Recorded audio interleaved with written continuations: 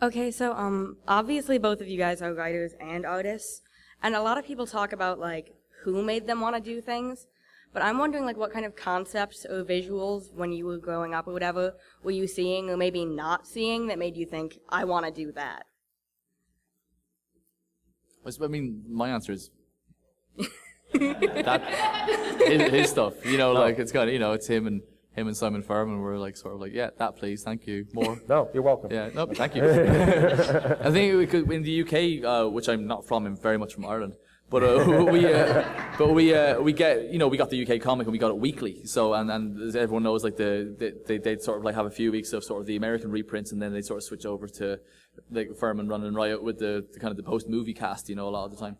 Um, so, uh, kind of on any given week, you know, I was getting some prime Furman or a nice slice of Budiansky, you know, in, in my, on, in my, letterbox. So, uh, yeah, I was, I was kind of getting like a good education from, from both of them, you know. They're both like different writers, but they're both building, it's just the world building of both of them, you know. So it's, and that, that's kind of something that obviously I've tried to emulate. Like James, you know, who's uh, a co-writer with, is, is excellent at the world building. Like he kind of, I always describe it with James uh, that he uh, he likes to lick a character so no one else can use it, you know. So he'll sort of like, so oh, I've got a character right. Here's his origin, yeah, you know. So so I was like, oh damn it, we can't, you know. And so and he's he's he's great at doing that, you know. And so um, uh, so so yeah, I mean, like my, my primary comic education would have been like the, the Transformers reprints, really. So is that um, when the Transformers comics folded, I had to sort of kind of try and graduate to big boy comics, and it just happened to be at the time when uh, like Jim Lee and Rob Liefeld's uh, kind of ex comics were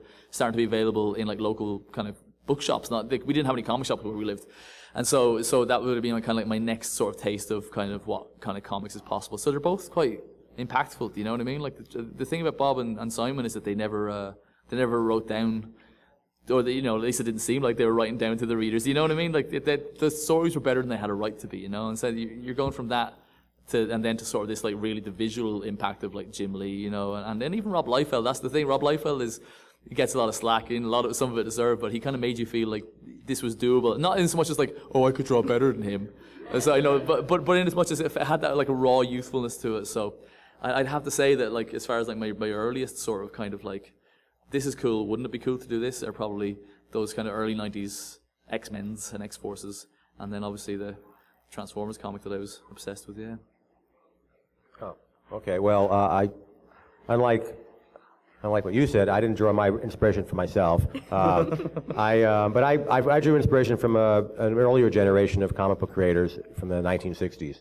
Um, so uh, I probably had similar experience that you had, which is like I loved reading what they brought to the uh, to the to the books I was looking at, and uh, I loved I loved the artwork, and um, uh, it was very very imaginative, and made me think I'd like to do some of this someday. Um, and yeah, I guess you know, so by the time I was like 12 years old, if somebody had asked me what did I want to do when I grew up, I would say I want to be a comic book artist. I wasn't so much thinking about writing, although I, I was definitely interested in the stories and all. Um, but, uh, but then as I got a little older and I got into high school, I was thinking, oh, nobody can make a living as a comic book artist. So I graduated high school, went to college, got a degree in civil engineering, and uh, then dropped out of grad school.